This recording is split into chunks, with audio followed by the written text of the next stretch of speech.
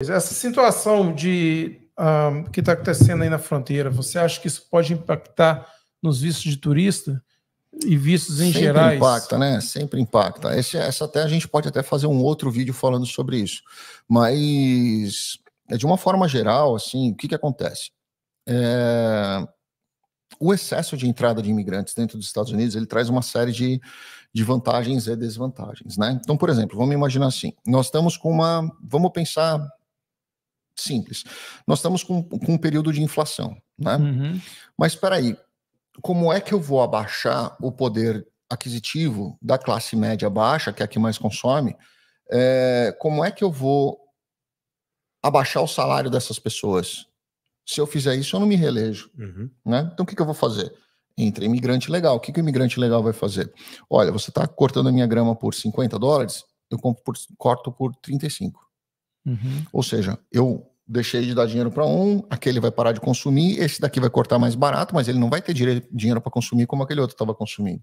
Então, quer dizer, eu deixo que ah, naturalmente e indiretamente a economia baixe o nível, baixe o consumo, porque essas pessoas são as pessoas que mais consomem, porque elas são em maior quantidade e são pessoas que consomem geralmente produtos de cesta básica, que são Uhum. produtos que geralmente impactam muito na inflação, pela quantidade de pessoas que compram. Uhum. Então, quando você eh, tem aí uma diminuição do poder aquisitivo, principalmente da classe que mais consome produtos que impactam diretamente na questão da economia, você vai ter aí uma redução na inflação, certo? Que era o que é interessante para o país.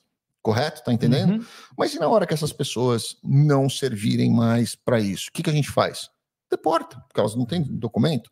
Não dá para deportar um green card holder, não dá para deportar um cidadão. cidadão. Mas essa galera dá para mandar embora. Quem que mais mandou embora na história dos Estados Unidos? Barack Obama. Uhum.